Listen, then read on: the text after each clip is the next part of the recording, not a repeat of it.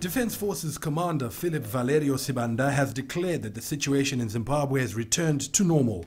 He says the military will return to their barracks and hand over security to the police. Under Operation Restore Legacy, former Finance Minister Ignatius Chombo and a number of other high-ranking ZANU-PF members have been charged with corruption.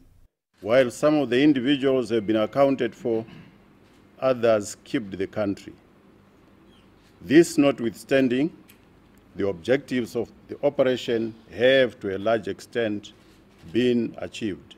As Operation Restore Legacy comes to an end, it is our hope as your defense and security services that our people will remain united, they will shun corruption, they will be law abiding, and focus on working hard for the development of our country. Two former ministers, Jonathan Moyo and Saviour Kasukuwere, the alleged kingpins of the G40 faction, have fled the country and remain at large. And a former Ministry of Mines official has been arrested and charged with corruption.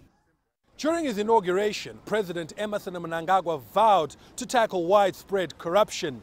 Since then, the Zimbabwe Anti-Corruption Commission has launched investigations into two former cabinet ministers for flouting tender procedures as well as criminal abuse of office.